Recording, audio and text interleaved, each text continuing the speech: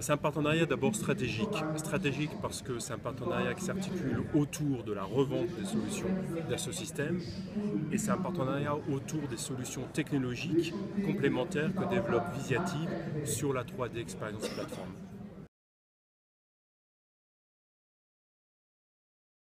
Je pense qu'il y a deux tendances de fond qui sont majeures. La première qui est que nous passons d'une économie de produits à une économie de l'expérience. C'est l'expérience du consommateur qui va euh, impacter le cycle de design, de conception, de production euh, du, produit.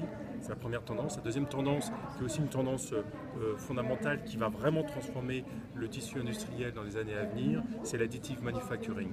C'est-à-dire ne plus concevoir un produit en pensant à l'usinage qui va être de la subtraction de matière, mais de l'additive manufacturing par l'ajout de matière. Ce qui va permettre euh, sans doute de réindustrialiser l'Europe de l'Ouest qui a quand même euh, exporté une grande partie de ses capacités d'industrialisation dans les pays asiatiques. Donc c'est une vraie possibilité de produire localement.